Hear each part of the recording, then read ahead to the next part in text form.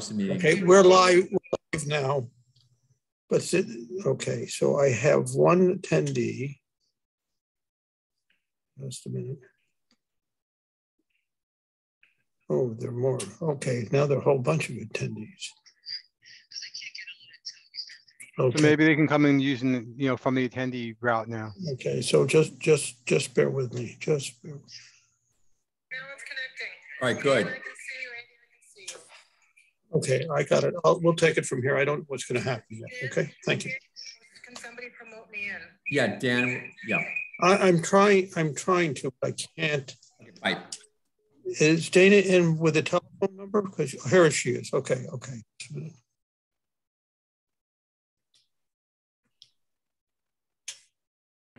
Hi, how's it going? Techni- Technical difficulties, Dana, this evening. Okay, oh, Okay. Peggy, Dana, you're on, okay? Is there anybody else, else, Elsa is there? Hold on. Peggy Yeah, Jackson. should Elsa's be on. trying to get in. She just texted me. Can you guys see me? Because I don't think I have um an option to show my face. No, I, I can't see you. Okay, got it, got it. It's a bummer.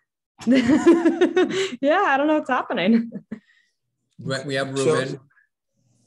So um, Dana is in, just a minute. Let's just make sure we can hear Ru- Ruben. Elsa. Hi, Okay, we can hear, uh, and we can see Elsa.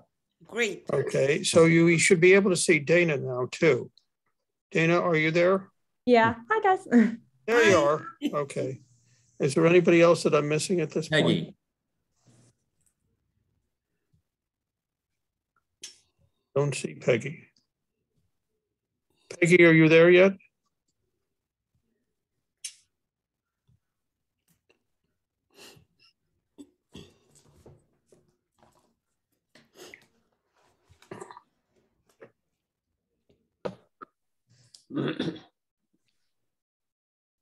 I really look forward to when we can meet in person again. We know.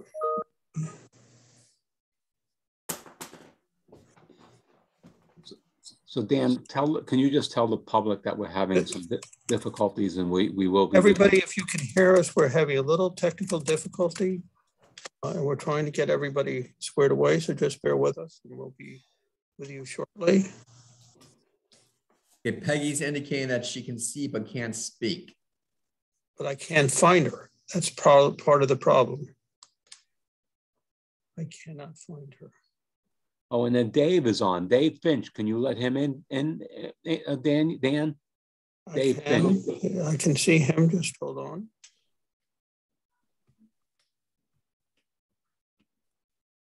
Dave should be on now.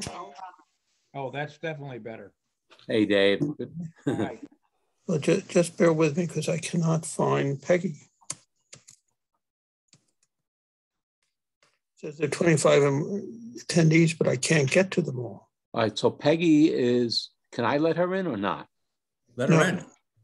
You, you can let, you, you don't have, you don't have the authority to, that's the problem.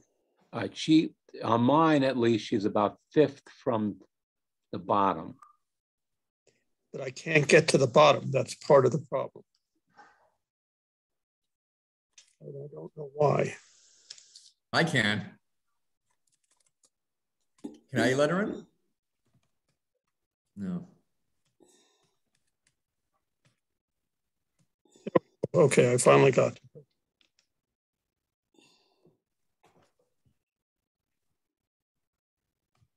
Peggy, you in? Yep, she's on. Peg, you Here she is. muted. All right. Awesome, Peggy. There you are. Take off the mute. John. Got it. Okay, Tony, you need a motion to open the meeting? All right, can I have a motion to open the March twenty-second, twenty twenty-two Flood Mitigation Advisory Committee meeting? Andrew, second. I'll second. All in favor? Aye. Aye. Aye. All right, so this is the, the March twenty-second Village of Mamaroneck Flood Mitigation Advisory Committee meeting. Welcome all. Um, As I say every month or from the last couple, our dates of the meetings are posted on the village website. Sorry for the delay. We had technical difficulties, as you may have heard. Um, we have a big agenda tonight, and I'm going to pick and choose what we present just because we're not going to have enough time. I'd like to start with the minutes, which is item three anyhow. February 22nd, which I circulated both to us on the committee and was posted on the on the village website. So do I have a motion to approve the February 22nd minutes? Tony, I was absent on that evening, so I will. I'll make a Actually, motion. All right, second, Second, uh, and now just Elsa in favor, ayes or nays? Aye. Ayes. Aye. Dana, you missed, right? Yes, I wasn't there. Okay, okay. So the minutes for the February 22nd meeting are approved. Thank you. Um, okay, so I'm gonna have to start with updates and uh, the item four is Army Corps update. So Dan, what I think I'd like to do is just give an update on where we are and then and then just have a couple of questions from the public. We're not going to be able to answer everybody's question, I don't think, um, but we'll give it a shot. Okay. So Okay, just, just Tony, for those who want to comment, you need to raise your hand and uh, I'll relay that to uh, Tony and he will allow either say we can let you speak or not. And, Okay. and if I can, uh, Tony and trustee Natchez, if individuals have questions, they can also, I believe, type it in. I don't think that- there's a chat, Andy. Okay, that's unfortunate. Okay. Yep. Okay, so the flood committee, I, I got on, on in December, probably since Ida, the, uh, the flood committee, FMAC as we call ourselves, has been asking to have a meeting with the village, okay? And, um, With the Army Corps. with the Army Corps, I'm sorry. Uh, thanks, Peg. um, and the reason to have the meeting was to, to try to do it as, as, as kind of a construction project, to have a kickoff meeting.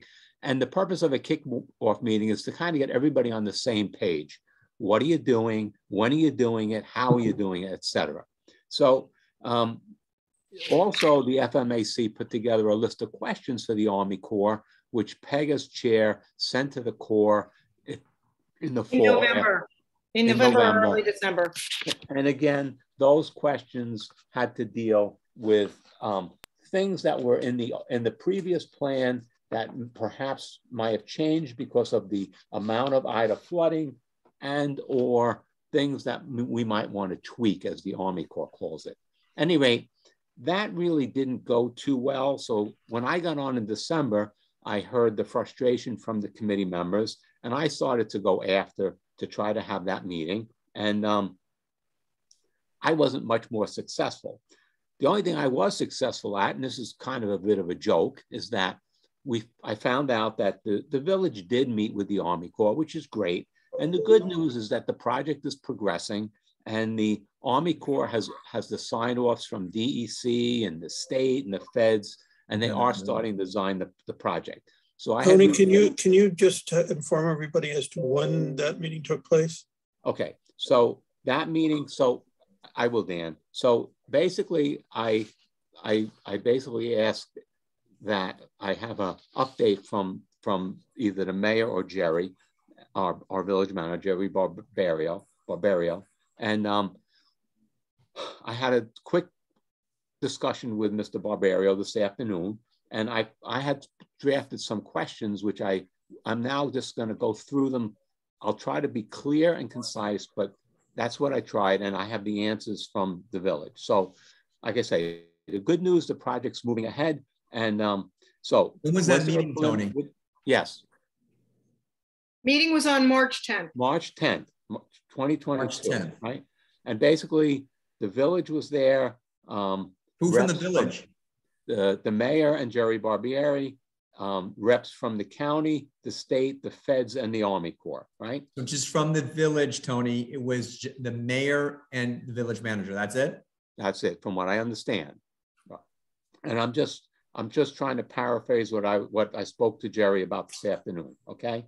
Um, I asked why the FMAC wasn't invited and basically was told that the, that the, the Army Corps wants to have a public meeting at sixty percent design And at that point, we'll be able to get all of our questions answered. I asked, would we get questions to the to the letter that you that the FMAC sent in November? And the answer was basically we don't know, but you can definitely get them at the 60% design. I asked, what is the schedule for the project? Basically, the design schedule, they feel that for the first four parts, which I'm going to go over in a minute, four to eight months to get to 60%, right? So Jerry said, you know, six months is probably what they're shooting for. And that's about what. So, um, so Tony, is that, said, four, okay. is that 48 months from their meeting on March 10th or four to eight months from another date certain? Well, I think it's four to eight months from, they started design like late January, early February. So probably around February 1st, I think. That's as accurate as I can be. And I wouldn't, you know, Sure. that's as accurate as I can be. Um, I then asked, okay, which parts of the project are they designing first, right? So Good so. I'm just gonna list the parts. Ward Avenue Bridge and channel widening, Waverly Avenue Bridge and channel widening, non-structural, and I said, okay, what do you mean by non-structural? Home elevations. Um, and then the last piece was the culvert on the Jefferson Avenue Bridge. Um, Oh, I then said, well, at least with the culverts in Jefferson Avenue parking lot, not bridge, Jefferson Avenue parking lot, there are concerns that that might not be the best solution. Are there, do you think there'll be an ability for us and the village to tweak that and, you know, maybe do other things like an open channel flow, something like that? And Jerry was basically, I really don't know. I don't know where the Corps' head's at, but he thought that there would be an ability to, to tweak that design.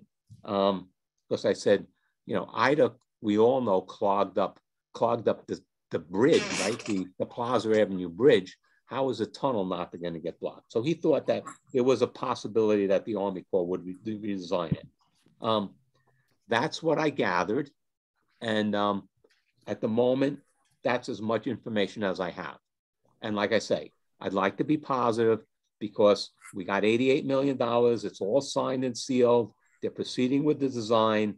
They're expecting to have a public meeting at 60%, which if it's if we take an estimate of six months, that would be February 1st. So March, April, May, June, July, August 1st, that would be the six month. And you know, could be sooner, could be a little bit later, but that's that's about what what they that's the gist of it. So I'll take a few questions from MA, Um, I'd like to make a few points if I may. Um, The flood committee sent a memo to the village of Mamaroneck on September the 21st with 20 some odd points of questions that we had based on Ida. We have not had, 19 of them, excuse me, we have not had any answered. On October 28, we sent a further memo to the village of Mamaroneck. And we sent 28 points, 20, 26 points, and that has not been answered. We sent an email to the Army Corps of Engineers in November, and the Army Corps response was, these questions are very pertinent. We look forward to meeting with you to discuss them. We then met with the Village of Mamaroneck Board in early December, and we were asked to pick out our five top points out of the Army Corps memo Out of the 20, yep. Out of the 28, and we did. And the first one on everyone's agreed list was we need to have a meeting with the Army Corps. And the mayor and the village manager said, we are in the process of trying to put that together. That still hasn't happened. We then sent a further memo this Saturday, the 19th, to the Army Corps from the committee with a shortened, tightened request list. Um, and basically saying, we have some different points of view. We'd like to make sure that all the different neighborhoods are included. And we're trying, this was compiled over many months of people's input from the community. And we find out that there was a meeting held, no reporting was done back to us as a committee. And I'm, I'm I think this is totally wrong. Peggy, if I can, Please.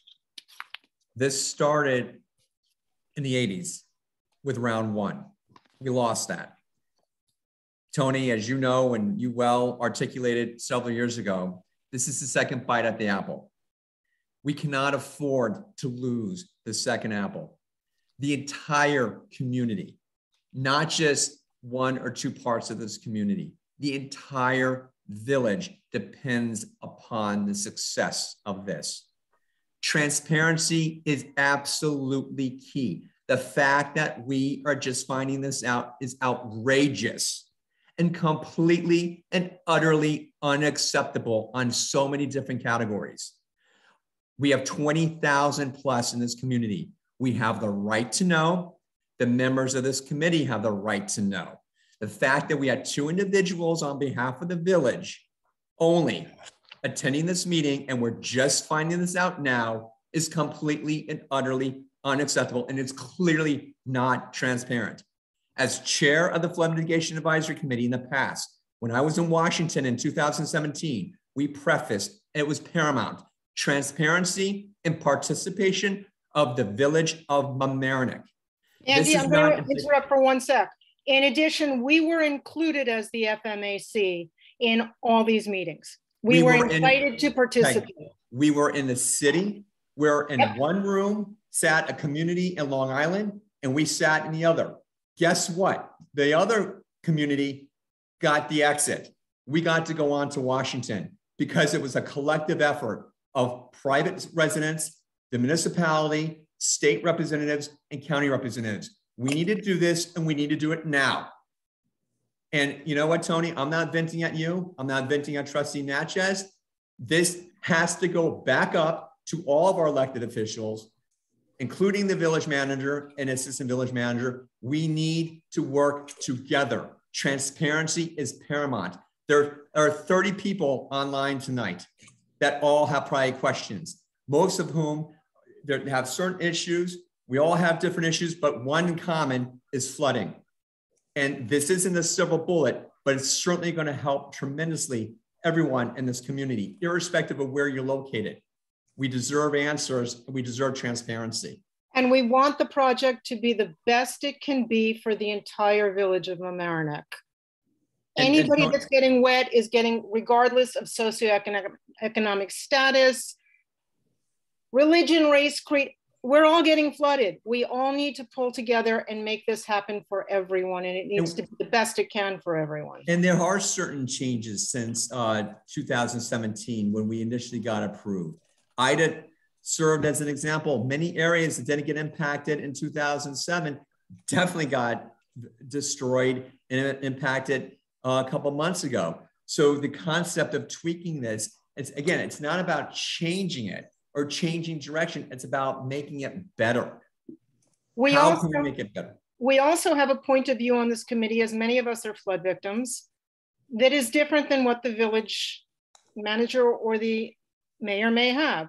We're not asking Corps to change the project. We're asking them to talk to us and communicate with us I- about our thoughts. I think, and I, and, and um, Chair Gelber, I think we should open this up to the public, but I will say this, a meeting with the mayor, a meeting with the village manager or deputy village manager is absolutely paramount. We have to have their participation.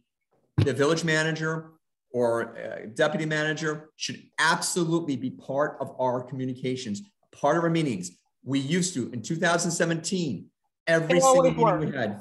They always were. We're Since always present. 2007, we never had a meeting without the village we- manager or the assistant village manager. It's very important to have this. We have to assure transparency. Again, we all don't have to agree. We didn't all agree on 2017, but the plan that did come down the pike finally took a bit of all of the input. We have to continue that theme. So I would urge Tony that we reach back out to um, the village manager and our mayor and ask for additional participation in our meetings. Please. Can I, can I ask, is that a, um, so Andrew, you're asking that and Peg, that A, we have more communication with the village manager and the mayor. But specifically, let me finish, that specifically that we have, as we had at, in the previous round, either the village manager or the assistant village manager participate in our meetings, correct? Absolutely. That's a given. But I think Andrew's going farther and saying we need to try and get on the Army Corps' schedule to have a discussion with them. We want to talk to them. We're not going to try and, we want the project to be better. And we are, we're working in a vacuum because nobody's talking to us and nobody's communicating with us.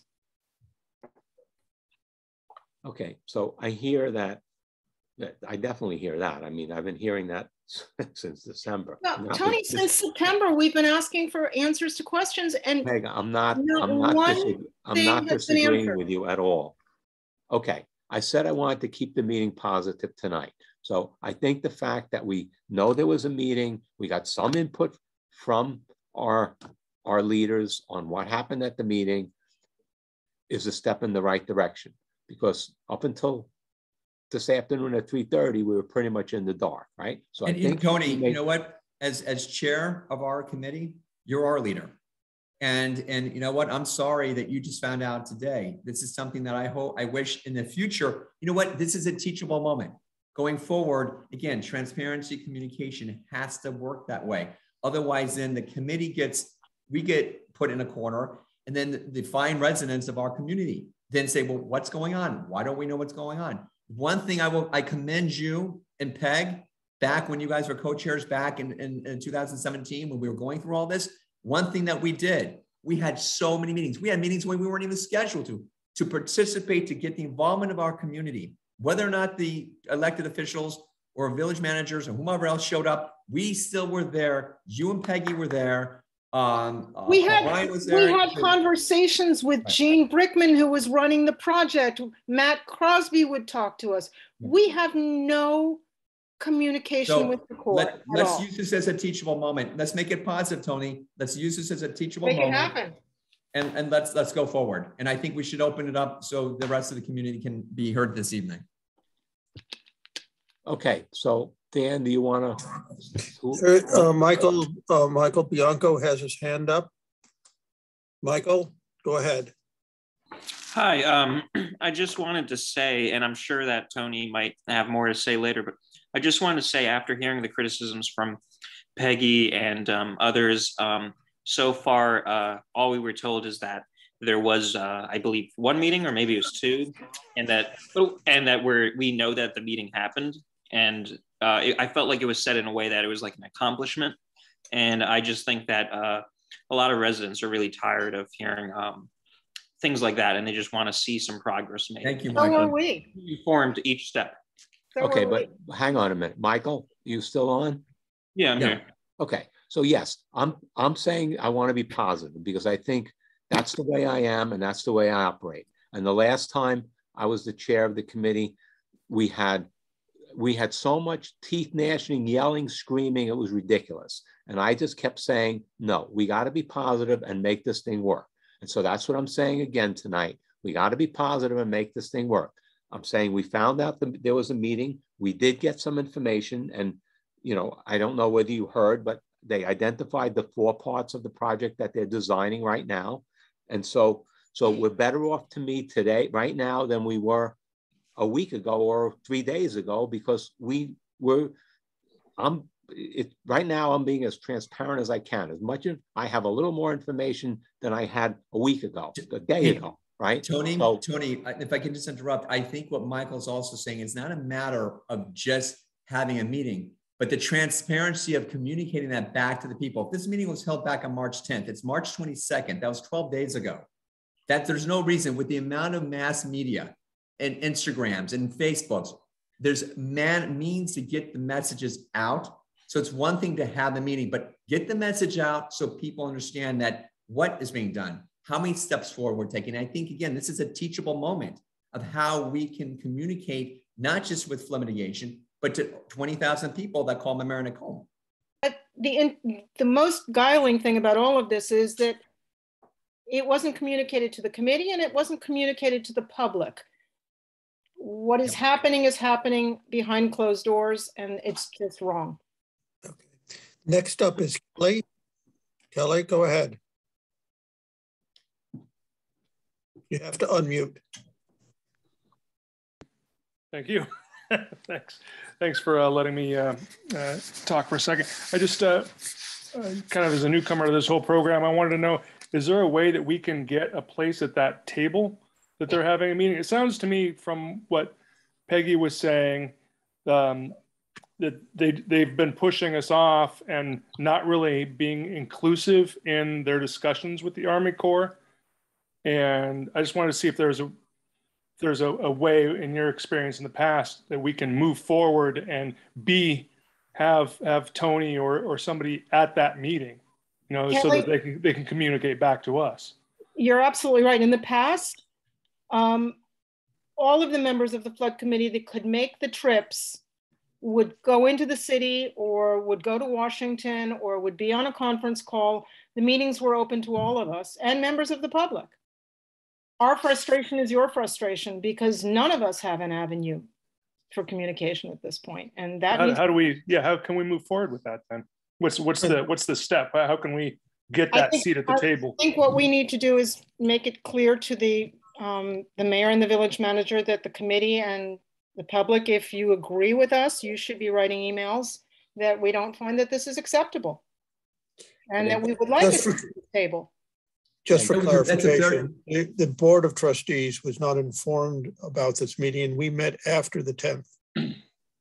You- you- In your point of, in fact, when we met and we had the hearing in Washington, um, some of us, including myself, went to Washington and Right. appeared before the Army Corps, whereas others actually met in the conference room at the regatta and actually participated from afar. But the key thing here, Kelly, is participation, transparency, and I will absolutely give Tony and Peg the credit. Back then, the community was extraordinarily splintered.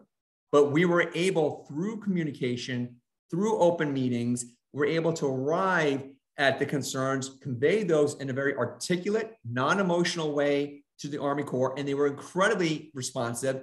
That's why we were able to secure it and bring back a good policy back to the village of Mamaroneck. It So- sounds like, to- it sounds like to me, we need let- to, we need, to- we need, we need to come up with a plan, maybe with us on how we're gonna make our communications better. Maybe we should, you know, I- mean, you know, how are we gonna do this? Because I think we're kind of saying the same thing, we know it, but I don't think we're really coming up with, what are we gonna do? Problem- Problem, Steve, is not our communication. It's that there's no communication from the other end back to us, and that's got to change. But we, we Kelly, could, Kelly, let me, There, there are a couple me, of other people who have not spoken. uh, Dan, Dan, let me just, let me respond to Kelly, okay, please? So a couple of people have asked me what they could do.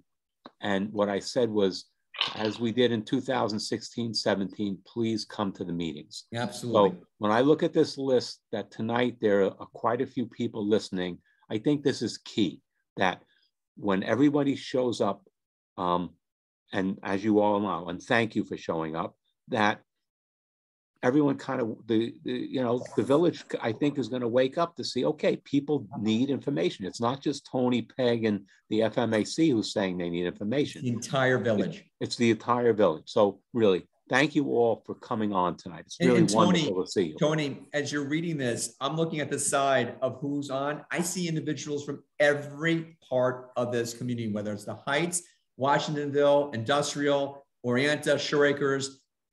I, I see, I'm seeing uh, the commercial district. This is great. This is how it starts, Kelly. Okay. Yeah. So, Yeah, Tony, uh, if maybe- I- If I may, to move on, uh, if the next person was Dennis Drogan. Dennis, you're on. You have to unmute yourself. Are you there? Dennis is on. Yeah, he, you're off. You're on. You're, you can speak now, Dennis. I am on, thanks. Sorry for joining late. Um, this is Dennis Drogan, the Assistant Building Inspector. So um, I hear your concerns. Um, I'll be sitting with the committee and listening to your concerns um, moving forward. And uh, I'm making some notes in between. So um, as you have the concerns and they come up, I will stress them. And as for the remarks of the um, uh, the lack of communication from the village to the board. Um, I think that you know there there is growth inside of it, and there are some things still at the administrative level level, um, and the trickle down should happen a lot quicker. not saying trickle down as being demeaning, but you know, we, we have to see the flow of information to the board and back and forth. So a cleaner line of communication clearly has been stated is necessary at this point. Dennis, I, But Welcome, Dennis, and thank you very much. So Dennis, are Absolutely. you basically going to become our sort of liaison between the village, if you will, staff and, and Dan and the committee? So the role has not been, it, it, I was put onto the board, but I'm Not not very clear, I'm not very clear of the capacity right. of what I can accomplish through the board and the municipality at this point. Dennis, So- but your Dennis, your commitment to the village and your experience here, I've seen firsthand is extraordinary, and anything that you could provide will be helpful. And that's from personal experience with ongoing different biz uh, transactions, which is much appreciated, Dennis. Thank And I you. second that because I've worked with Dennis through real You're, you're, estate. you're a He's constant terrific. professional. Thank He's you. terrific. Yep. Yeah, I- yeah, yeah. I have a thought, Tony. Maybe, maybe you could do this. Maybe you could petition to have a regular meeting with the village uh, manager or and or the village, you know, the, the right people. And this way, you know, maybe maybe if you can make something formal, a monthly meeting yourself, a by um, a month, two month, you know, and may, maybe then you could, uh, you know, have a more formal uh, communication with, you know, with the mayor, with the, you know, with, the- with Schedule the head. meetings. Yeah. It doesn't have to be the whole group. Yeah, just tell- just Tony, just have a regular, meet. try to schedule a Sure. regular meeting. All right, I'll, I'll see what I can do. Uh, There, totally there, is there anybody else who has not spoken that wishes to speak? I, I see Kelly's hand is back up and Bernie's hand is back up. Tim O'Connor, you're And on. Jen- uh, Jimmy Abadi, Uh, James. I'm not seeing his hand up yet, so just bear with me. Okay, good. can you guys hear me? Mhm. All right, great. Perfect. Uh, Tim O'Connor, Washington Street. Um, it's so heartfelt that, uh, you know, that the board is not communicating back to the public here, should, uh, letting us know what's going on with the Army Corps of Engineers project. Uh, what's un- unacceptable is that, you know, the Corps is waiting for sixty percent of the design work then to let the public know. That should be right out of the gate. You know, we got technology here at, at a minimum, these meetings could be recorded and added to the village website for people to look at, at a minimum. Um, it- it's crazy that we're working these days, but, um, from uh, your standpoint, from the FMAC standpoint, what other projects are, can we look at or implement uh, in parallel to the ACE? That goes to the low hanging fruits, Tony. Uh, well, hang on. So Tim, I'm glad you brought that up because as you may have seen, our agenda is extremely long tonight. So um, we wanted to briefly touch on two other areas that I can, and one of them was street and the similar problems, street flooding in both Washingtonville, the industrial area, as kind of one of the areas. And the second is street flooding in the Florence Park area. And both the Washingtonville and Florence sent me emails with, I would say, probably signed signed petition of like 50 people at least, something like that. So I was at the board meeting or the work session last Monday night, and Dan brought up a, what I thought was a good approach, which was then I would say seconded by the mayor and the and the board, that we hire an engineer to look at the street flooding. And we had originally discussed just Washingtonville and then maybe expanding it. So I think that, and I was planning to go back to the next work session to say that I'd like to look at the, the Washingtonville area, the industrial area. And in fact, I circulated a scope of work, a draft, which got put on the, put on the village website today, I think. So, and then I think, Dan, the, the board approved money for that study, correct? Uh, The board, the Board of Trustees, after I suggested it was, has approved hundred and fifty thousand dollars for, uh, not just to study, because as far as I'm concerned, I'm not interested in another dust collector. Uh, we're great on, we're great on those. I'm not interested in that. But a study with, with specific implementation plans and paths forwards for implementation on uh, the flooding issues. Uh, and the, the area is from the I-95 overpass on Mamaroneck Avenue to- at least Fenimore Road and maybe further uh, into the industrial area and from the Mamaroneck and Sheldrake Rivers over to I-95. So that the, basically are low-lying, low-lying areas. Most of those streets do not have drainage except at the intersections and do not have enough pitch to run the water to the intersections. Uh, so that is part of the part of the issue to try and attack uh, flooding, not only for to help in parallel with the Army Corps of Engineers plan, but more importantly for those non-episodic storms where we get flooding as well. Uh, so I, the the concept is to do a twofold approach to life. Uh, Tony and Dan, I would think Ti- Tim also wants to hear is the low hanging fruits that we already have. We have a vac truck. We finally have a vac truck.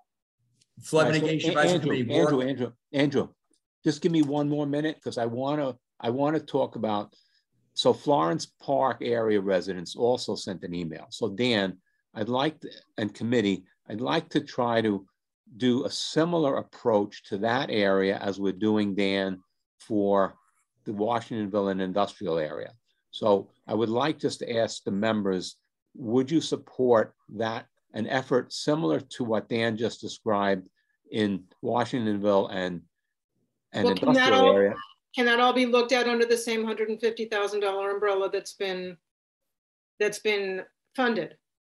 I, I I think think you if would we- need additional monies to do that, very candidly, and I'm all for doing that. I think we should. But I think the first step is to review what's already been studied in the Florence Park area, if you will, or it's actually, Except wasn't it done in nineteen eighty-four or something, Dan? It's no longer going to be valid.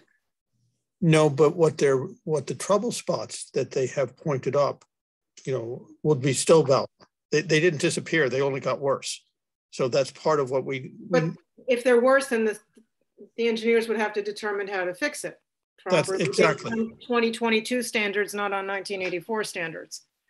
So So I I do I have, do I have kind of a, I have, I see Peg is, so Yep. by, I have, I'd like to have FMAC, just, I know Peg, you're saying yes. I'd like to add the Florence Park area to uh, at least put before the BOT for an engineering study of options there.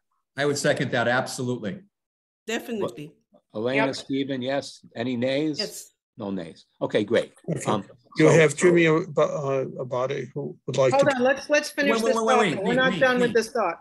But wait, Tony, if we can go back. Yes, to all right, so Andrew, you're Tim up. had There are more issues of low hanging About fruit. what we can do in conjunction to Army Corps. We have it right in front of us, whether it's the VAC truck, maintaining the infrastructure that we have now. as Road to nowhere. uh, road to nowhere, clearing debris under the underpasses before storms. Yeah. We used to do 72 hours, 48 hours, 24 hours out. There was a list of things that could be done. And bridging, because the mountain by Grove Street So that is in in the river is frightening. And we have asked this and asked this and we're getting no answers. in essence, there's a tremendous number, Tim, that's a great question. There's a tremendous amount of things that we coin as low hanging fruits that we can do today. In fact, I saw a vac truck on Fenimore and Hoyt today. They were doing an incredible job. It was great seeing this. It was refreshing to see. These are things that we can do today. So you're absolutely right. In conjunction to the Army Corps, what we as a village can do on for ourselves to help ourselves. Good question, though. Okay, yeah, thank you, Tim. All right, well, how about one more, Dan, If and then we may, gotta move. Tony, I think Yes. you need to go back to the low hanging fruit memo that we put together.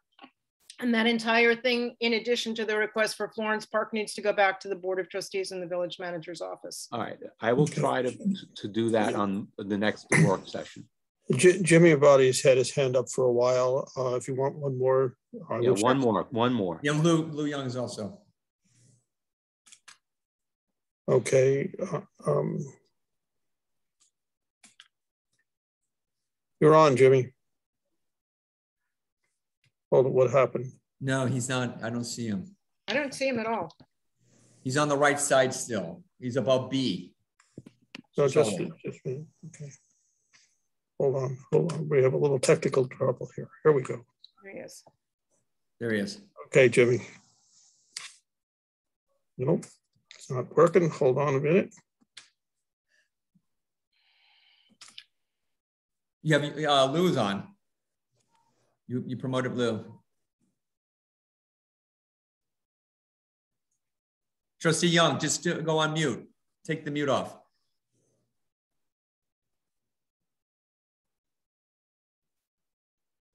Mr. Young, you're on mute.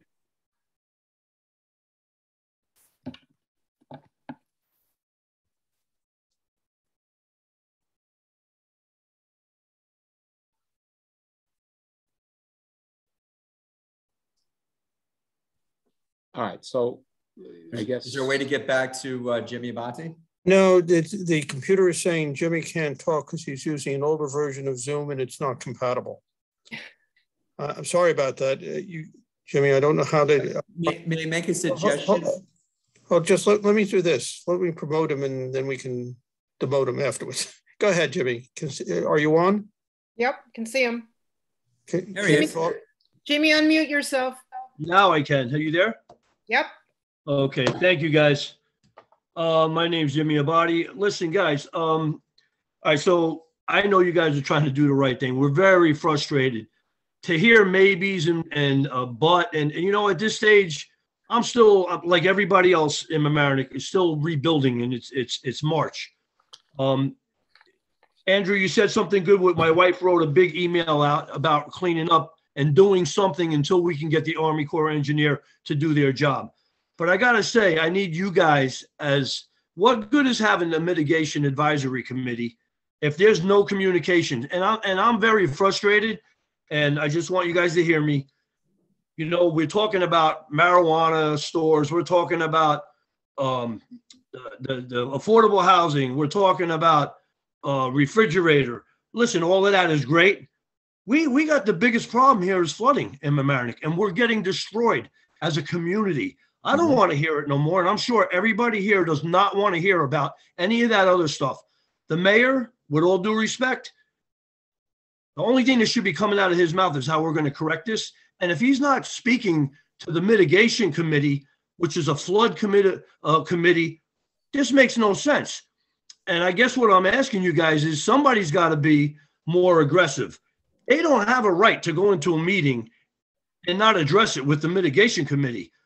You guys are supposed to be able to sit down and advise each other what's going on, what can we do to make the village better so we don't flood so bad, okay? In meantime, nobody's even called into the meeting or even asked their opinion. Or even told the meeting happened. Well, that's the problem here. And the main problem, and I'm going to say it, the mayor may not like it, it's coming from him and Jerry because that, to me, is being sneaky. I don't care what you tell me. They need to speak to you guys and say, hey, listen, we're going to be sitting with the Army Corps of Engineers. Have you guys discussed anything? Do you guys have any input? What good is having a committee if you're not going to give them the input? You might as well just put duct tape on your mouth. I'm, I'm frustrated. I know everybody that lives in Mamaroneck, especially in the flats, okay, that got destroyed. I lived on Elliott Avenue. This is my four, fourth or fifth flood. I don't even remember anymore. Um, this is the worst one.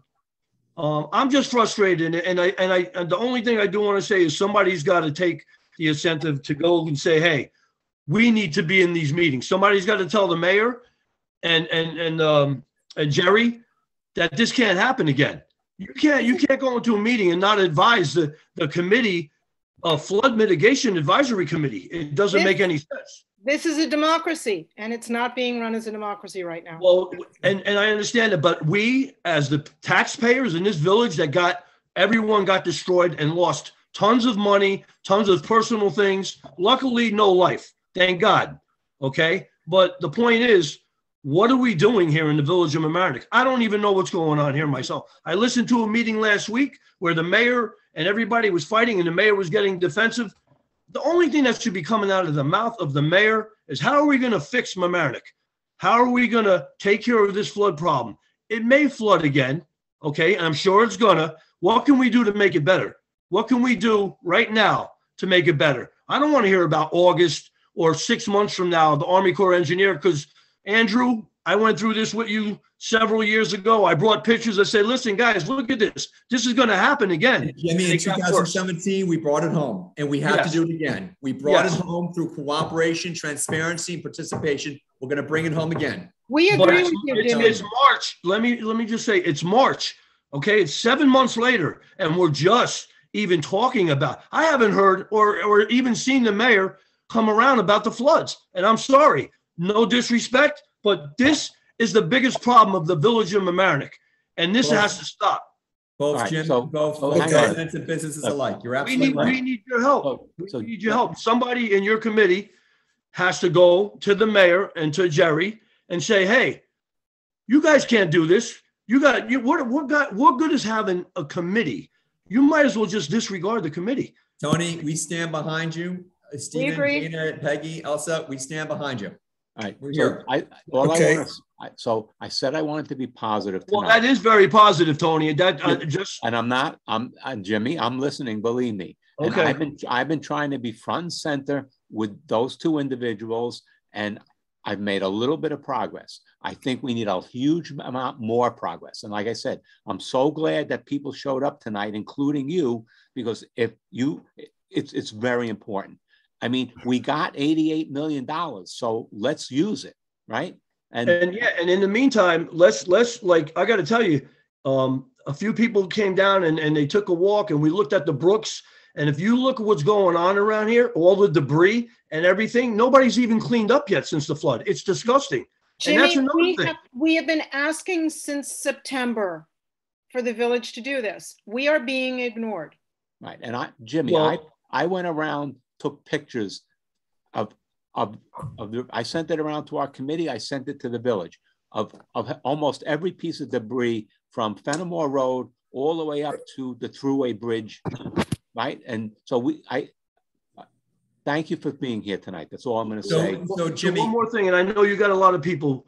If you go and take a look at the homes, there's still tons of debris that was underwater that's contaminated out and about in our village, just laying out. Nobody's even cleaned it up. Now they did. Listen, don't get me wrong. The village did a great job of taking the stuff that was thrown up, but there's still a lot of stuff that's left out in people's yards or whatever it may be. The brooks are filthy. I mean, you know, they got to do something. Jimmy, I'm not sure if you heard that uh, Dennis of the village is hopefully going to be working with us. Uh, also as a caveat of information back to the municipality, which will be hopefully very helpful. Again, he's the, he's the constant professional. And I'm sure if he's given the opportunity to do so, things like that. And I agree. These are, these are things that can be done tomorrow. We don't have to We wait don't- for $88 million for that. You're absolutely Andrew, the only thing I want to say, I'm going to shut up now. No, we, we need like- someone, we, we need someone that's going to be aggressive. No more. We don't want to hear it anymore. We need aggressiveness. go. Aggressiveness. We need someone that cares about the village, that cares about the taxpayers, that cares about the public, that went through all of this. We all went through it together. We need You're aggressive. shoulder to shoulder, Jimmy. Okay. Thank you, guys. I, Thank I you. just had to say something here, please. Um, I'm very disturbed at the fact that we are pointing fingers and the other parties are not here. So I totally agree with Jimmy. We, as a committee, the advisory committee, should be more aggressive. It's, it's, uh, uh, it's, uh, we are here to represent the public, to express the public opinion. And we have to be more aggressive. We have to be on top of this. We have to, if if we if we they say no, we have to we have to keep insistent. So uh, I think we have to be more aggressive. We have to be more proactive, and we don't have to take no for an answer.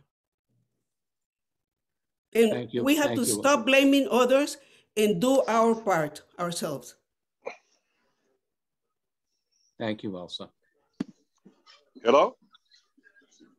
Chair Board, if I may, this is Dennis Drogan again. So uh, just remark to what Jimmy was asking for was um, somebody to walk the river. Um, there are there is debris around. I know the village did put a, a great amount of time and effort into uh, mediating and cleaning up the stream and the Mamaroneck River. Um, I'll go out and take a look in my time and uh, see what I can put together and maybe make a list. If the committee and all the attendees can email me locations of stuff, Dennis, you know, we can we can If I may. I will meet you and take you on a river walk. And Dennis, I will send you my PowerPoint with the pictures of all the stuff I took that, yeah, from Fenimore Road up to, up to 95, okay? Yeah, that that's great. I mean, Dennis, even- I would be happy to take you in, on a river walk and show you what we're talking about. May I come on that river walk as well? You bet. That's terrific. All right, I finally figured out how to un- unmute my phone. Absolutely, Lou. Um, uh, c- um, can I uh, just uh, ma- make an observation here? Sure. Yeah, uh, a lot of this stuff. I mean, you talked about Florence Park. I have I have uh, um, documents from Florence Park that go back to 1981, and uh, and and the flooding in Washingtonville that back that far as well. So none of this uh, is new. And um, and I would say that anybody who's been studying or sitting on committees for all those years since, you know, in, and and the mayor too. Yeah, somebody said the mayor should do this too, but they everybody, and including Andrew, should uh, just say we're sorry we didn't do more. We're going to do better now, and that's the that's what we have to do going forward because it hasn't been addressed. This has been horribly neglected. We have a a, a, a river uh, maintenance uh, program that has funds in it that hasn't been used, and it was created eight years ago by the uh, at the suggestion of the Army Corps. They never spent the money, and they rated it uh, three years ago. The Board of Trustees rated it, and uh, and that's that's the truth. They haven't spent it. So it, when we go on that river walk, you point it out, and we'll go get the stuff. And I want to tell um, Trustee Natchez also. Yes, Trustee Natchez did bring up about the um, the study or the the engineering uh, um, uh, contract for uh, the flats uh, and, and and Washingtonville, but uh, he didn't vote for it because he didn't want the money to come out of the sewer program. He wanted it to come out of affordable housing. So the vote was four to one. Trustee Natchez voted against it. So I just want to clear that. up. This, this, this is not the time for politics. You want to be. It's not politics. I'm just You- just- correcting just let me something you finish, said that sir. isn't true. Gentlemen, respectfully, respectfully, there's 30 people that want to be heard this evening. This is not the time to debate. There'll be another I'm- time I'm for just- that. I'm just correcting This is correcting not the time that to was debate. not true. Lou. And Not true. respectfully, you want to know something? The fine individuals who, they're not elected. These are volunteers on this flood mitigation advisory committee. These are the individuals who take time from their families, from their lives to give back to the community that's so great to them, Trustee Young. And respectfully, these individuals are doing everything they can in their power. It's our elected officials, of whom you're one of them, okay, that we expect to lead the charge. When people are talking about what's being done, the communication, the transfer of, and dissemination of, of, of information, we expect that from our elected officials. We're mere volunteers, Trustee Young. And furthermore, with regards to the past, I ask you on September 1st, why was our back truck being maintained, not in service? And why didn't we contact a contractor to go to the Washingtonville, the industrial area, and the heights to clean out the storm drains that we knew are problematic? Okay, so some of us were emailing and begging and pleading with the village to do that. So respectfully, these are hard-working individuals that are selflessly giving back to the community, and I think they're doing a pretty good job. Okay, let's, let's, let's, I agree. Let's stop the politics. Let's, let's get back on positive things we can do. Um, I would like to move on to the other parts of the agenda. Okay? Okay. Um, okay, and for those, again, thank you. So let's keep going. So I'm, I'm gonna go to something completely, uh, Bea, I see you're on. So um, thank you for showing up. Thank you for sending me that Florence Park email. And I will be, be- hopefully before the trustees next, at their next work session, promoting uh, an engineer to study the Florence Park area and come up with solutions, okay? So I'd like to go to Catherine Dehais next. Catherine, can you, uh, uh, Dan, can you promote Catherine Dehais, please? And this has to do with um, river clean out, which is another volunteer effort. And I'm pretty sure Catherine is, is is either spearheading it or she she asked to talk about it. So I, I want to give her a few minutes. I'm trying to find it. Okay. D E H A I S. I can't find her. Had she, uh, she needs to raise her hand for, Kate, for- can you, Catherine, can you raise your hand, please? Here we go. You should be able to talk now, Catherine. Catherine, you have to unmute yourself. Hi Great. there. Okay, um, I'll just speak very, very briefly. Um, you know, our, our, I'm on the environmental committee and of course our committee is concerned about, um, you know, the debris in the, in the river and also litter. Um, so we're doing two things that relate to you.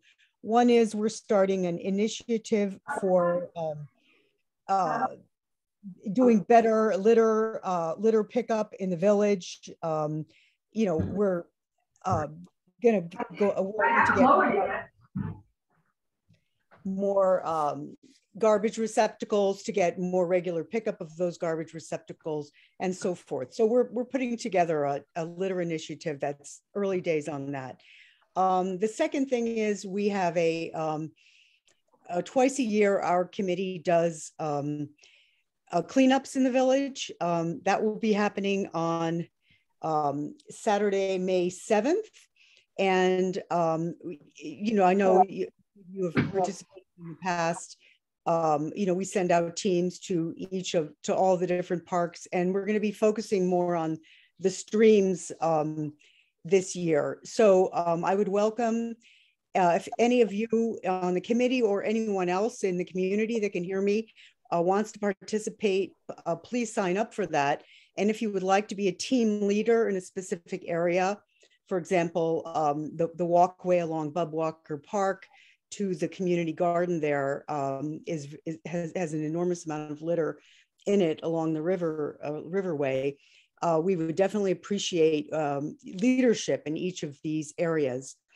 Um, and um, in, I think it's a, an informal process, um, but maybe with Dennis, it can become more formalized, whereby um, along with pictures of litter, I have also sent pictures of gar large garbage and so forth that I've seen in the river. Um, and those have been um, forwarded by Jerry uh, Barberio to the um, harbor master, uh, Jeff, um, I can't really think of his last name, but uh, anyway, the harbor master, they've been renting um, uh, cranes and, um, and have um, been removing large pieces of junk. So um, I'm sure Dennis can connect to that. So that's, um, that's all I have to offer. Catherine, if I, if I could just jump in for a second, if you don't mind?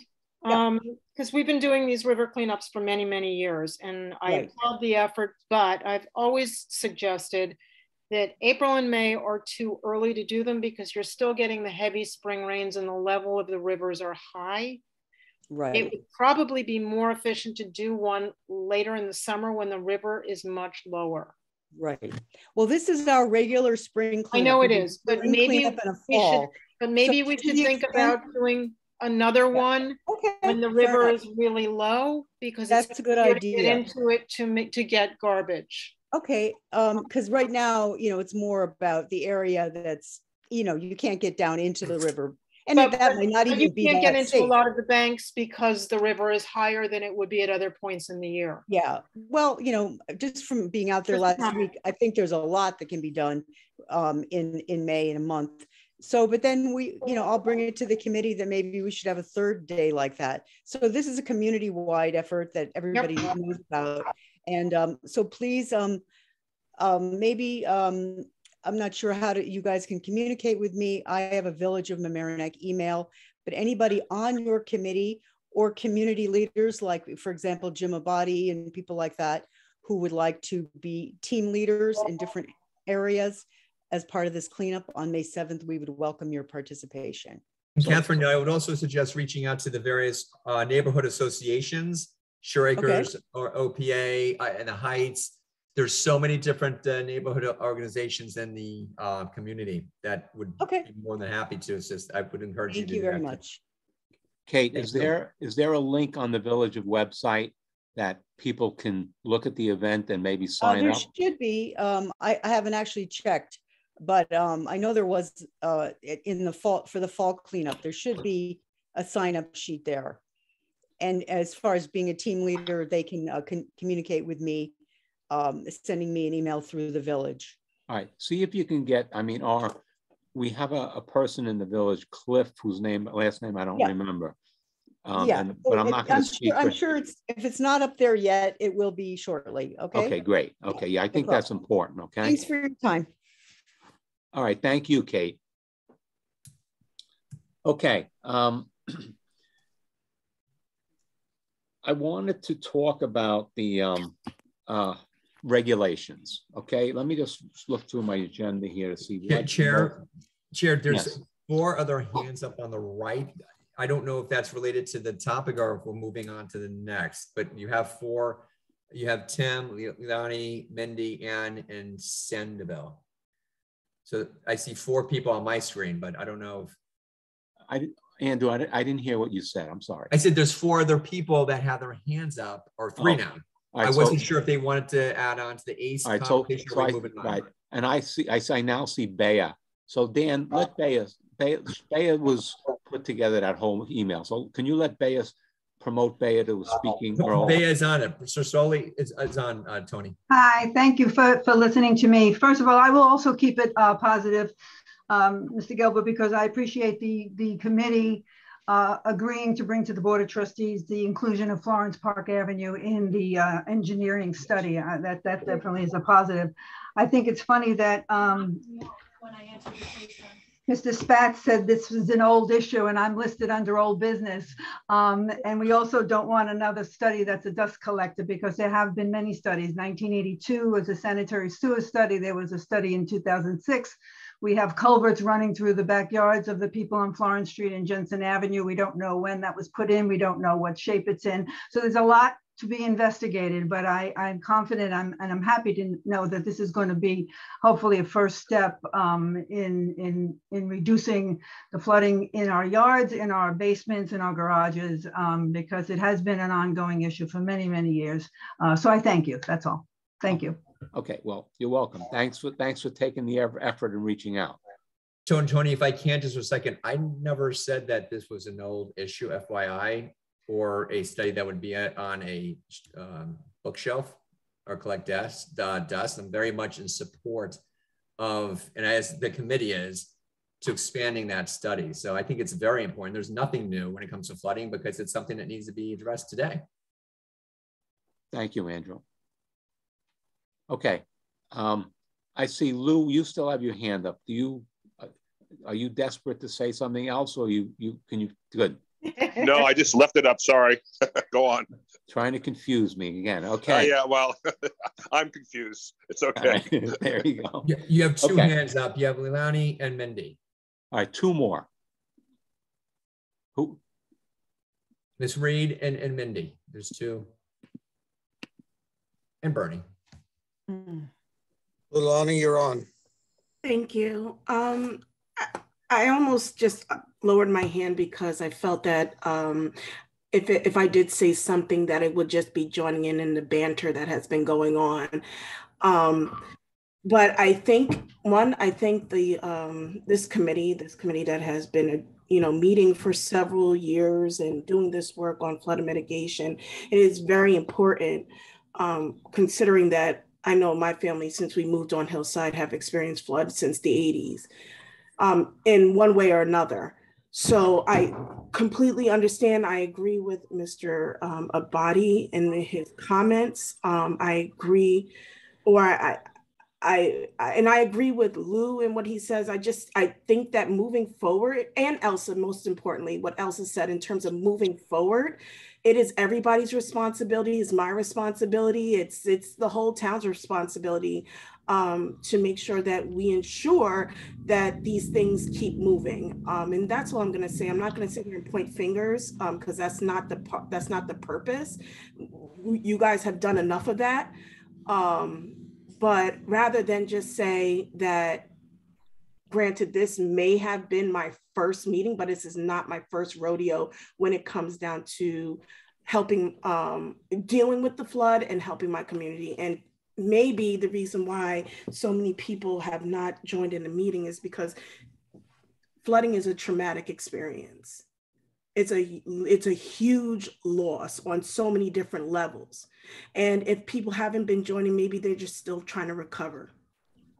And I just maybe thinking about that because it's an it, it takes it takes all of you it takes all, all of all of a person mind body and soul to deal with the aftermath of a flood and not too many people not everybody has the resources to bounce back so i'm done thank you and Thank, everybody thank you, Le- Leilani. Okay, the last one, Leilani. Annie. Leilani. Sorry. guys and read Annie is now on. And you have to unmute yourself.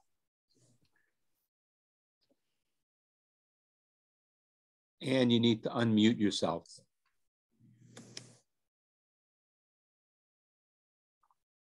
Bottom left. Oh, there she goes. Oh, she got it. Hi, Ann. Go ahead, Ann, you're on.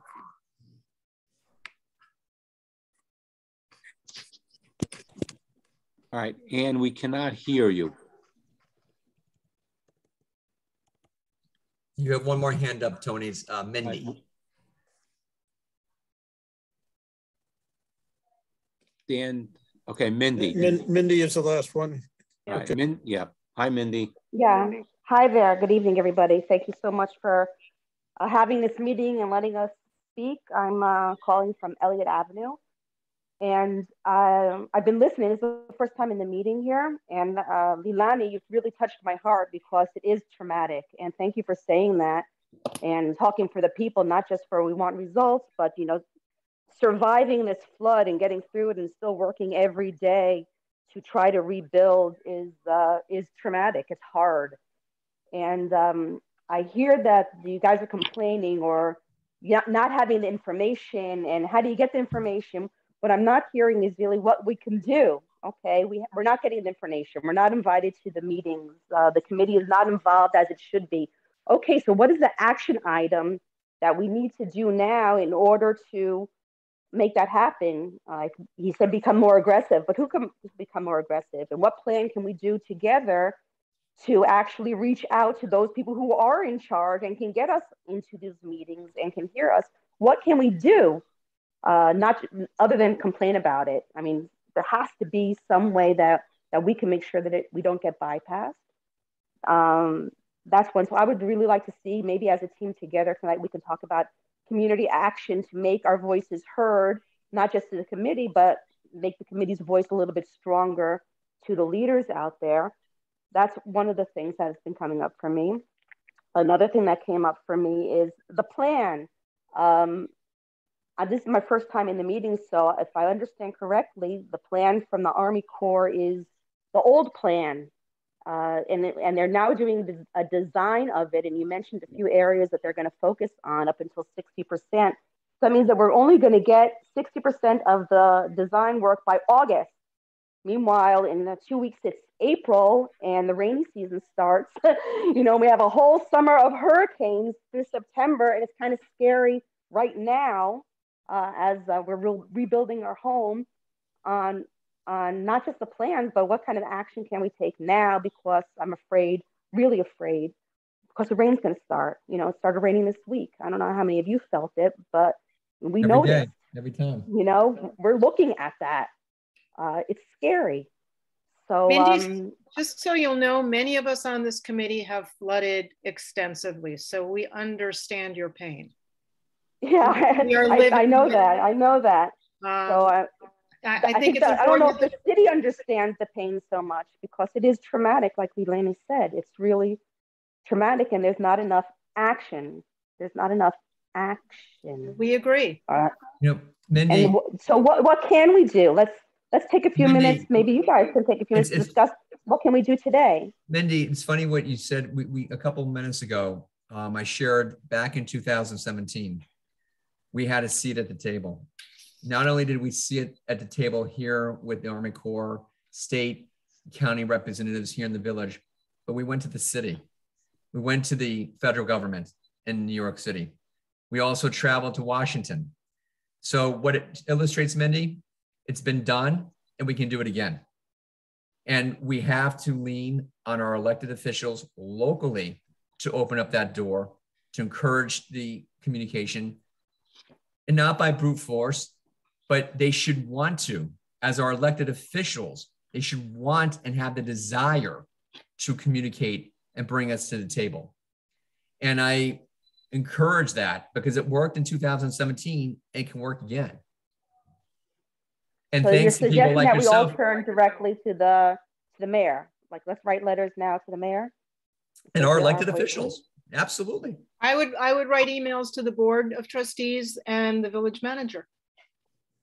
Okay, very good. So like I say, everyone on this call, you said there's 30 people on the call. So, you know, let's Yeah. start to take a little bit of action start as a group to put pressure. Uh, because we need some, we need something done. You know, it's hard to sleep at night. You're and absolutely right. um, We know something that Jimmy said, I think Jimmy, Jimmy Abadi, Mhm. he's a neighbor. Um, he mentioned about the debris, that there's debris also in uh, the yards of people's homes. Uh, Um, as, as far as I understand it, the city is no longer collecting flood debris and construction And I, debris. and I think Dennis is going to bring that back. He's going to communicate that back to the municipality But as a, perhaps, perhaps some photographs could be taken and sent to the committee and we can pass them on to Dennis so that we can. Okay, that would help us a lot, because it's about. tremendously expensive to get this stuff taken away, and we have to, you know, we have to build walls, you know, change electrical wires, and to be getting rid of debris, paying hundreds of dollars Absolutely, to Mindy. get rid of debris. I mean, I'd rather Excuse leave me, it in my Min- yard. Mindy, Yeah, may I know your last name, please? Stern, Mindy Stern. Thank you. you're, Thank you're you. on So Elsa's thank, number thank one you for hearing me out. Thank you for participating. Thank. Absolutely, you. Elsa. Absolutely.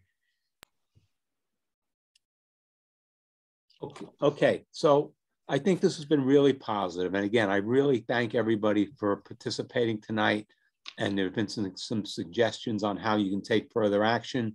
Our next meeting is in April. I don't remember it off the top of my head. Well, Tony, we had some other things on the agenda. Yeah, I'm not closing out. I'm just thanking people for the participation. Um, I guess one other thing before we move on to regulations. Uh, Tony, do you have that date certain? Do we have that date certain for the next meeting in April? It's the fourth Um, Tuesday. Okay, just want to make sure because there's uh, spring break. uh, A lot of people going away for Easter, Passover, holidays, spring break. I've got it as the twenty-sixth. Great, awesome. 426, so April 26th, Peg? That's what I got. Right. And I think according to our governor, after the 15th, we can have in-person meetings. So that might be a positive step also, okay? Um, before we go on to regulations though, I want to bring up floatables, right? And Stephen Glenner, you went around the village um, to take some look at that. And we talked about that floatables, meaning stuff that can float away and not really debris, but in Ida, under the under the uh, Station Plaza Bridge, right? A trailer truck got stuck, I guess, and a, uh, and a shed, right? And then one of them somehow went downstream and got stuck on another bridge. The So, Needle Lane Bridge. right. So Dennis, if you're still on, maybe you, Stephen, can you hook up with Dennis and share your pictures with him? Because these floatables, it, you know, I mean, we could, we could spend $88 million and then a, a- the floatable could come in and just ruin the project again. So I think this is a key, you could almost call this low hanging fruit, right? Because we went around the village and find everything that can float and either, I don't know how we get rid of it or how we tie it down, but I think, I think this could be a big help in the near future. There was also, if I may, an email um, a couple of weeks ago from Gina Van Eyck about a shed that had been taken out of the river and was put somewhere by North Shore Farms behind there by the river. And it's just sitting there and it, it was never removed. So Dennis, so- that might be something to look into as well. Yeah, so I, yeah, so because we, even if we got a foot or two of water, not seven feet of water, one of those floatables gets stuck under the bridge again, we're right back to where we started, just what everyone is concerned about. So I think floatables, we, we, we can, we can take some, clear action on floatables in a short period. So Dennis, can you work with Stephen on that, please? I can. I, I can to a degree. Yeah, I know you, Um, you can't solve it, but at least maybe, you know, we could figure out what, what, you know, what are the low hanging fruit on fruit on the floatables? You know, what's going to float first? Or I, I don't know how we do it, but um, is that all right with you, Stephen? Sure, Dennis, I'll send those over to you. Um, is your, I just would need your communication, um, your email or something. I'm all over the website. Okay, I'll find you. So Dennis, if you send Dennis, send me your e- send me your e- a note, and then I'll circulate it. I'll send this way. You'll have all of our emails. Okay. Okay, um, if I may talk quickly about what floatables are, right? Um, when we have, um, when I've walked around the village, we've determined what is a problem. Um, we have an issue inside people's yards. You know, it's it's not an issue because our code permits people to have sheds, um, you know, one by 20, uh, 120 square feet. Um, you know, they can have construction materials, they can have all of this stuff uh, near, um, close to the river on their property. So, um, you know, unless something is is passed administratively, um, perhaps the trustees, a change in our zoning code that would give the building department the ability to um, act on these these floatables or items that could be washed away. Um, you know, I would say there's probably 24, two dozen to three dozen trampolines that were swallowed up by the Mamaroneck River. Uh, the shed that was that was stated that was yanked out of the river, it actually floated to that location Right. by North Shore Farms. Um, you know, there was uh, the Leaning Tower of Coolers in the Mamaroneck River. Anything and everything that can possibly go went. Um, you I know, once had a refrigerator that floated down the river. Yeah. Yeah, it's- yeah, yeah, Dennis, just so you know, the, the, the things I was, I, I was more concerned with and I took pictures of were, were just like the, tra- the trailers. And most of them were in the, um, were in the industrial section of Mamaroneck. So, um, I don't know necessarily what the regulation is on that, but I mean, I really didn't look at, you know, you know, little, um, sheds in the backyards or anything. And, uh, so I don't know, you know, so, you know, this, just to give you a preview of what, of what we're, we're talking about, at least what I was observing. De- Dennis you also should know that uh, the DEC doesn't allow those types of things in the regulated floodway. So that we had, uh, which which actually trumps the village uh, zoning that would allow it. That's something that uh, is very serious uh, to, you know, to put in your uh, arsenal of uh, things to uh, take care What I would suggest is um, Steve, Dennis, uh, Tony, or whomever, we convening, because again, we have a long agenda. This is obviously something that needs to be addressed um, and it's important. And we all are in agreement. So I think we could definitely take this offline and, and kind of arrive at a way to best approach it. But it's something that is manageable. All right. So, yeah, I wanted to put it on though, because I think we can, should consider it low hanging fruit because there's definitely stuff we can do. Yep. Okay. All right. Thank you. Thanks again, Dennis. Um, okay. So I want to just talk about regulations for a few minutes. and I don't want this meeting to go on all night, but um, Peg did a bunch of work on putting together um, some summaries of regulations. I wanted to start with um, the, what I'm going to say is health and safety. And Tony, if I is- may, why don't you give some background for the people who are listening because they're not aware of what we're talking about? Okay, and so right now in the floodplain, we have what we call floodplain development, right? And some of the problems with floodplain development is, you know, health and safety. Can residents get out? Should we add residents? Should we add square footage to the floodplain to residents in the floodplain? And so there's been a couple of approaches to to this problem. And one of the approaches is simply that the regulations that we have need to be followed and enforced, right? Then there was discussion of a of a, um, uh, a hiatus on building or developing in the floodplain, which I really don't want to go near. But I think following the existing regulations almost to the letter of the law, at least for now, before the Army Corps project takes takes place, is, is, is critical. And um, there is a current application, at least one or maybe more, in the floodplain. And FMAC, our committee, will is is not a regulatory land use committee, but we we can give input into the other committees. And so, um, Peg, can you can you would you Yes. just summarize kind of the regulations and So- what the process needs to be? So this is for the benefit of our committee as well as everyone else. Um, if a, a package is coming from the building department and going to planning, if a property is located in the flood zone or the floodway, the following needs to be included with the building department's packet. Um, a complete short environmental assessment form, two copies of a property survey, a floodplain development permit, which includes a wetland activity permit if in a tidal wetland or buffer, or if it's in freshwater wetland, um, a wetland activity permit, base flood elevation certificate, proposed elevation of the lowest floor if it's a residence, proposed elevation to which the building will be flood proofed if it's non-residential. And this came from the DEC. Any development partially or totally within the regulatory floodway must have an encroachment analysis, parentheses, or no rise analysis, completed by a professional engineer which shows no rise when compared to pre and post conditions, which to me is one of the examples of that is a HEC-RAS study.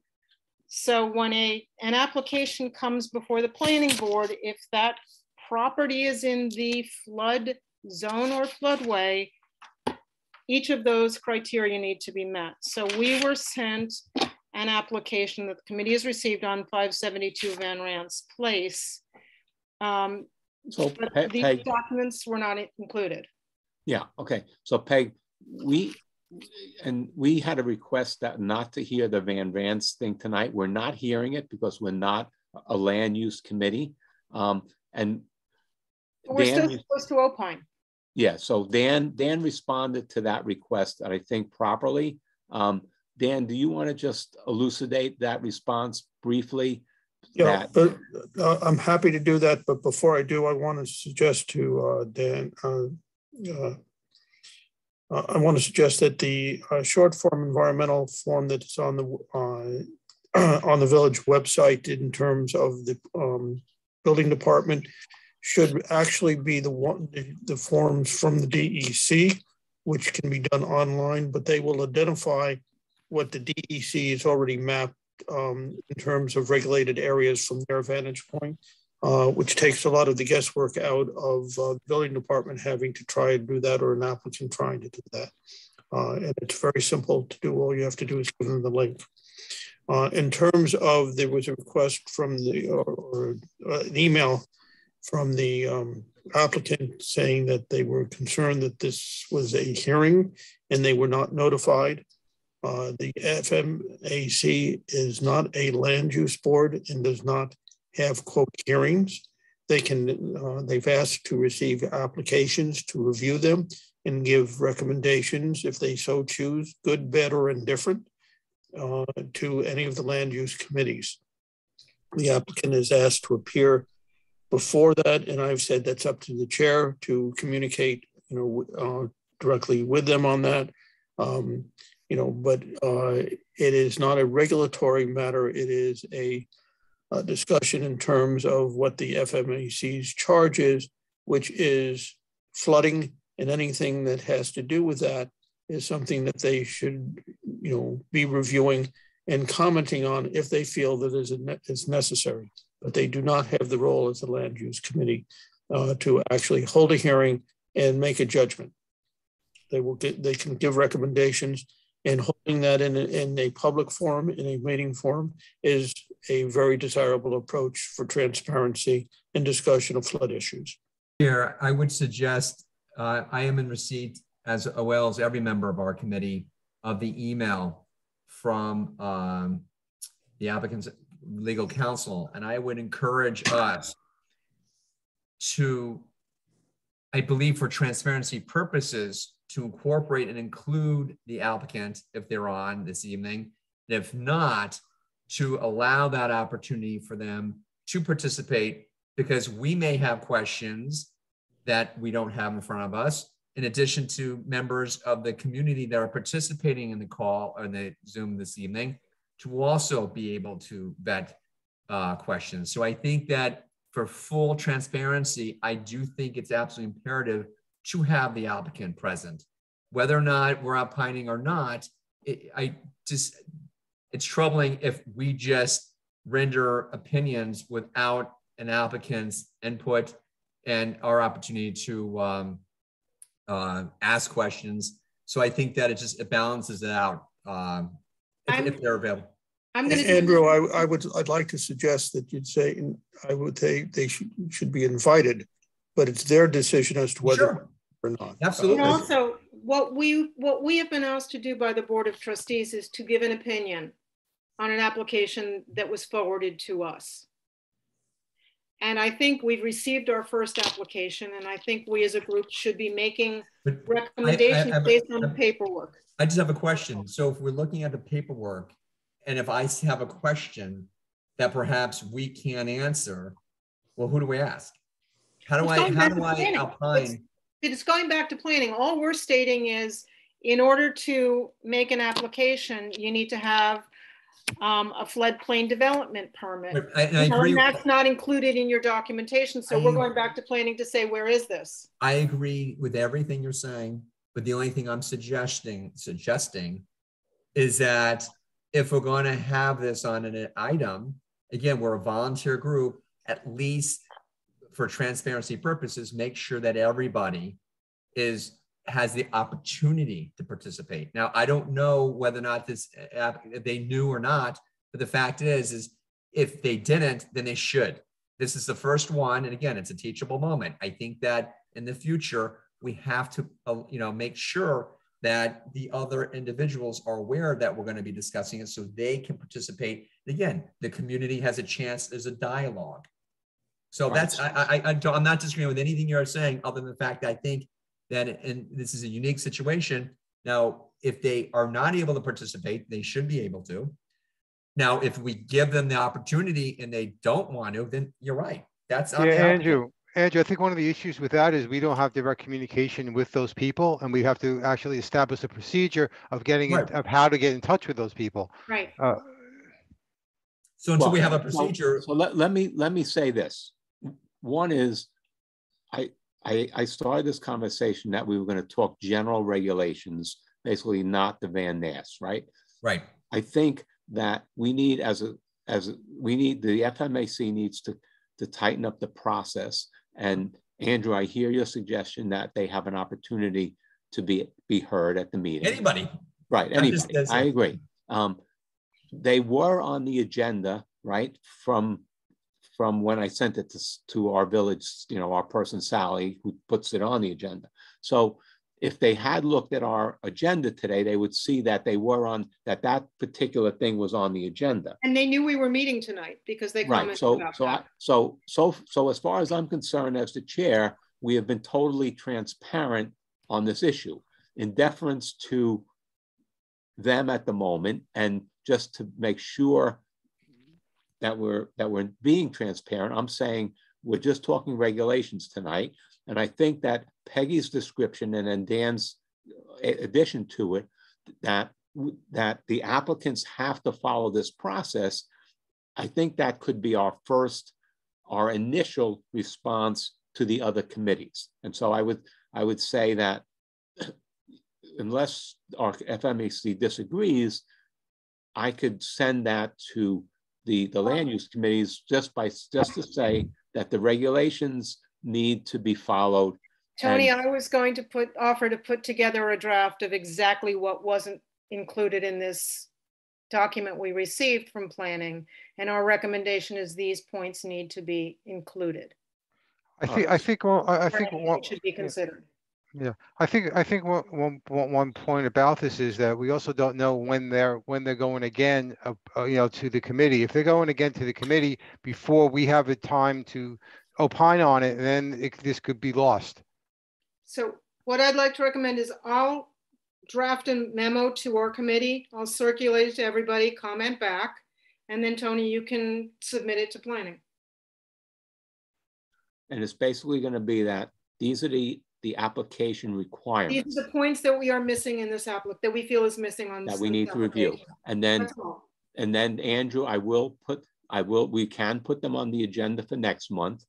That they, they can, they can listen to our comments and if we have additional items or whatever concerns or questions, that that can happen next week. Because as you said, this is a, a learning moment and it is the first. So, so yeah, is that, uh, do I have agreement on, on, on sending out an email to the other committees after a, a- a review by us all?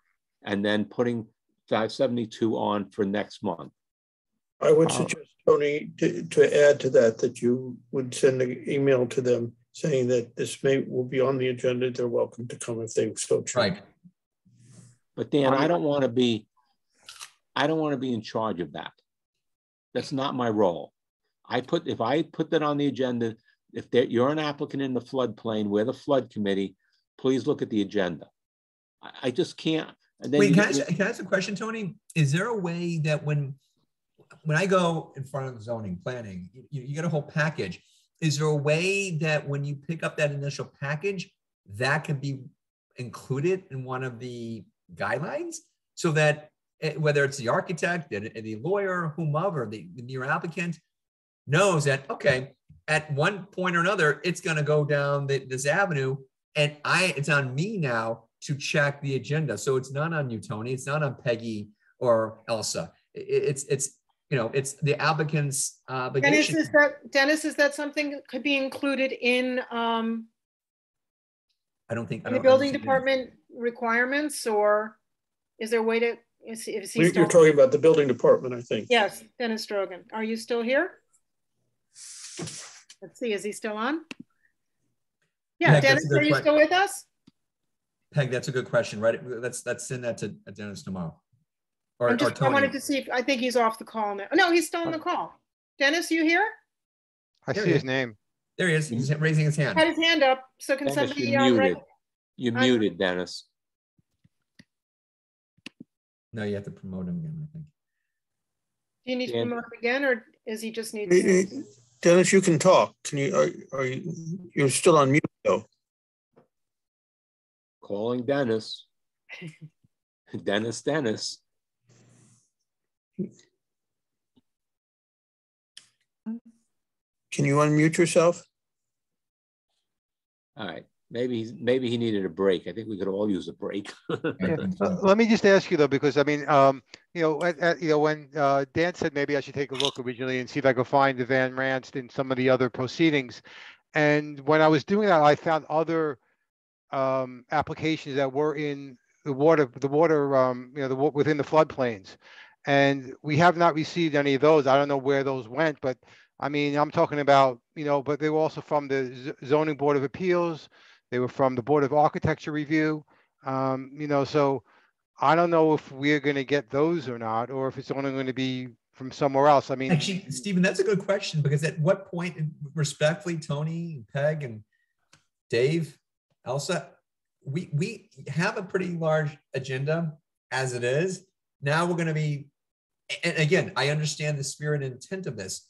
How do we prioritize? How do we sort of keep It up should with? the- become automatic when something is sent to planning. If it is in a floodplain, it comes to us. Okay. Because just these are like, how- these are at different, like, you know, points of, points now, like they're at the zoning board of appeals, they're in the board of architecture review. Um, you know, with the two, They may I be, saw that they may be too far down the road because we weren't established at that point, but somebody needs to opine on that. Dan, how can we get our hands around Peg, we that? were we were there, but we weren't.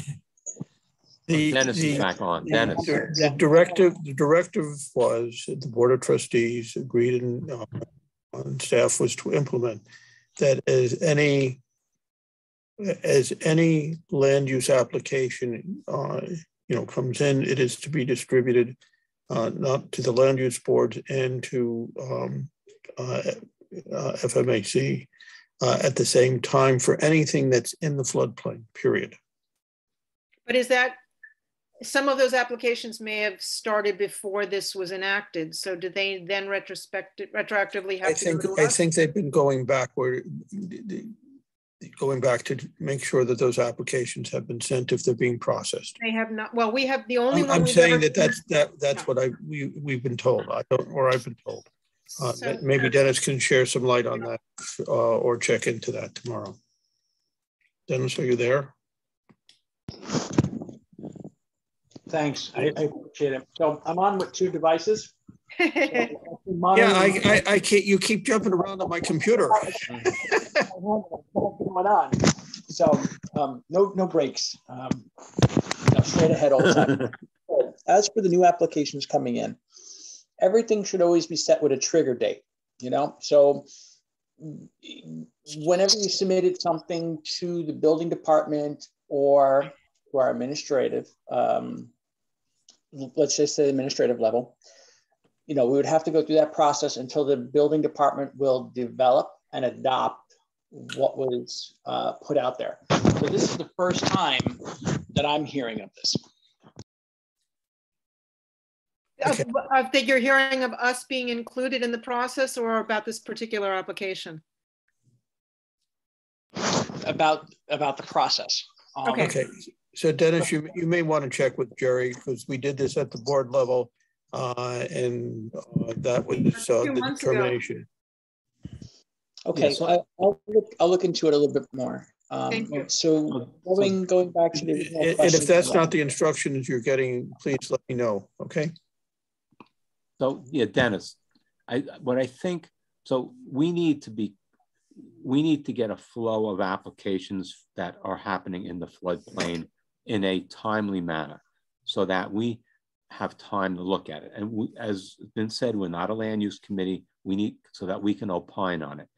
If and this has happened on other committees, stuff doesn't get circulated until too late in the process, it doesn't do anybody any good. So we would like to get these applications right out of the gate so we can look at them, make opine. It seems that from today's experience, the applicant might want to hear what we're having to say, obviously. So we would then, I would include them in our agenda and or they would get notified somehow in the village that that we were going to look at them that night. So if you could look into that, that would be great. Okay. Absolutely, absolutely. So, you know, for for any applications that are going to be in the floodway, not the flood zone or in the Right. floodplain, it, it, it is limited on how many people are doing construction or site work in the floodway. So currently we have one application that went to BAR uh, last week. So I can get a hold of the architect. Um, he was actually in office today, so we just we just missed one window. But I can get a hold of the architect today and, and speak to Frank Tabalacci, who's my the, the, the building my head, the, the head of the department and the building inspector. And I'll have a discussion with him, and maybe we can get that to come uh, to the board. Would they need site plan approval from the planning board?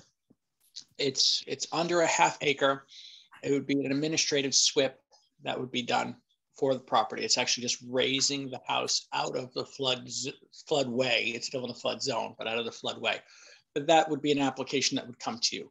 That's what you're looking to see, correct? Um, are you talking about the house on Winfield? I am. Well, that essentially isn't changing in terms of, there was already a structure there. So this, i- it's not, there's no more water being blocked than when the house was on the ground or up in the air, in fairness. That foundation was there unless they're adding an addition. Um, but. Or, so in, in this case, sorry to interrupt. Yeah, Um, if they are lifting the home and there's. Yes, they are. They, lo- well, yeah, they are lifting the home. But in No, the but course. I, I appreciate that, but if they're strictly lifting the home based on the same footprint it was, they're really not changing. There was a structure in the flood path to begin with. It's not changing the, if it's not changing the footprint, it shouldn't be affecting the flow of water. So now the, for clarity, right? Anything that isn't, any work that's being performed in the floodway, right? Mm-hmm. That should go to the committee. If there's And- and nothing. the Floodplain as well. That, that is the, the actual language, if I can, because I wrote the language, excuse me. The, um, the actual language was when, if there was, if there was a new structure being created uh, an enlargement of an existing, you know, I'm sorry, a new structure being created where there was no structure that exists, an enlargement of an, a structure uh, uh, that uh, already exists. That those were the triggers. Uh, we, they were they weren't looking necessarily. I mean, if you have if you have a building, you know, that has a structure that is, you know, not being enlarged in terms of um, the water flow, um, that was not necessarily the requirement. Um, we weren't trying, it, I think the FMAC is trying to look at, you know, things that, you know, would alter um, flooding in this You're village. basically, Dan, altering the footprint of what was there. And if you're enlarging it or changing it, then that creates a separate set of issues and should be looked at by this committee. Yeah, let me give you an example because I have a couple of ones that I wrote down. Like for instance, uh, there's a Board of Architecture review agenda and one of the uh, items was 732 the Parkway. And uh, the two people, homeowner proposed a garage renovation enlargement. Uh, zoning approval variance gar- uh, granted uh, for pre-existing legally non-conforming garage. So that would be a case where they're making a garage larger and that address is within a, flo- with- within a floodplain. So I would think that's the type of thing we'd want to look at because it's going to be taking up more space. Yes. Now, there Yes. was several examples like that. And, you know, that's just one of them. So, so for me as a building inspector, right, when we say the term enlarging, um, we use that in our zoning code as well, which is a gray area in the code and it's interpreted different ways depending on the design professional. So I understand, uh, Dan, how you're, how you laid out the groundwork for that, right? So when, when a building inspector looks at expanding, enlarging a property, it's not just by the, um, the footprint of the home, but it's about the volume of the home. So before we had a single family res, a single story ranch, which that was there before. Now we're increasing the volume, meaning the size. So it is now being built upward. Is there a change in the foundation on this property? The original proposal, I believe, was to be, let's say, was on posts or legs or piers. So that wouldn't impede the flow. There'll actually be less resistance. So, you know, I haven't, I haven't seen what Dan has written. I'm sorry about that. So, you know, if you can forward that out to me, I'd like it. I'll have a conversation with Frank and Jerry as well. Um, you know, so I can educate my- myself on Dennis? what you're basing it on. Yes. Dennis, I'm sorry, but I'm just going to throw an aside in because I think it's relevant. When I elevated my house because of flooding, I was planning on putting two piers in for the addition. And we did not put the piers in because the building manager, the head of the building department at the time would not let us do anything without a HEC-RAS study. So we ended up cantilevering the extension. So while the square footage of the house changed, the footprint did not. So how, how onerous would it be to say, if there's an application for the, for new construction or alteration in a floodway or a flood, flood zone, we at least get, get a flag on it? And that, I agree with that statement. That, that's a very clear cut ask. Anything that's being built in the floodway, you would like to see. In the flood zone, you know, that's, that's more of a reach because it's not in the floodway. So it depends on what you're determining, what We had want. originally said all flood areas, flood plain, floodway and flood zone. Okay, so you would be the catch-all Yes. to the HCZM. So for example, um, I don't mean to speak out of turn, but Van Ranst is not in the flood way, but it's in the floodplain.